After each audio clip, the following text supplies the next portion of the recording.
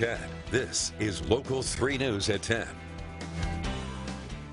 Good evening. Thanks for joining us. For Local 3 News, I'm Rebecca Bartlemay. Gwinn Area Community Schools held a town hall meeting this evening asking the public to weigh in on which direction the school district should go. The district faces many challenges, including declining enrollment, aging infrastructure, and whether to consolidate some grades into one or two buildings. On hand to listen to the concerns of parents was Gwinn Area Community School Superintendent Brandon Bruce. He says this process is just the beginning and this meeting will be the first of many seeking public comment on the future of Gwinn schools.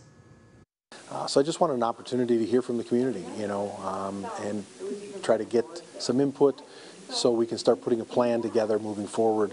Um, obviously, this is a, a community um, commitment, and it's going to go to the voters. So we want to we want to make sure that people are involved and, and have an opportunity to be a part of the decision.